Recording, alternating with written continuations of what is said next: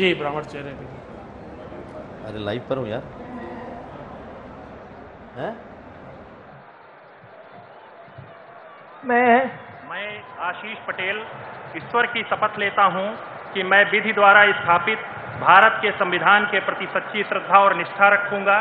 मैं भारत की प्रभुता और अखंडता अक्षुण रखूँगा। मैं उत्तर प्रदेश राज्य के मंत्री के रूप में अपने कर्तव्यों का श्रद्धापूर्वक और शुद्ध अंतकरण से निर्वहन करूँगा तथा मैं भय या पक्षपात अनुराग या द्वेष के बिना सभी प्रकार के लोगों के प्रति संविधान और विधि के अनुसार न्याय करूँगा।